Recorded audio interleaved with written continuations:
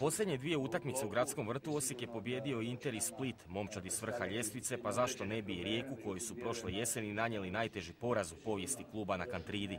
Bila je to najbolja Osijekova utakmica ove sezone, pobjeda od 5-1, nažalost nije se ponovila u dosadašnjem tijeku sezone. Lijepo se sjeti toga na Kantridi, tih pet komadaš kao što ste rekli, naša najbolja utakmica. Sve se dobro otvorilo tamo, brzo smo zabili golove, oni su morali napadati, mi smo ih na kontra eto, dobili. Ali evo, kod kuće sad druga utakmica, vjerovatno će oni biti orijentirani na defanzivu, e, stajat će na svojoj polovici, bit će sigurno jako teško to probiti, a nadamo se da ćemo dobiti utakmicu kod kuće.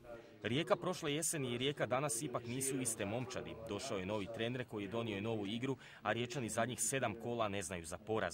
Ipak i Osijek se digao u formi, a probleme Karačiću daju tek ozljede kapetana Smoje i Lukačevića. Jedno ohrabrenje je e, taj kvalitetan otpor Dinamu i sigurno vraćanje u konkurenciju Hrvoja Kurtovića u veznom redu i vjerujem da ćemo e, smoći skupiti se i na zadovoljstvo e, svih nas dobiti rijeku gdje bi napravili velike stvari nakon toga. Cilj svih u klubu je odraditi preostala četiri kola na najbolji mogući način i ako se već ne može dostići Europa, onda barem usvojiti što bolji plasman na ljestvici. Bijeloplavi se nadaju i podršci vjerne kohorte, koja im je i ove sezone u svim utakmicama bila značajan igrač. Susret Osijek Rijeka u gradskom vrtu igra se u subotu od 17 sati.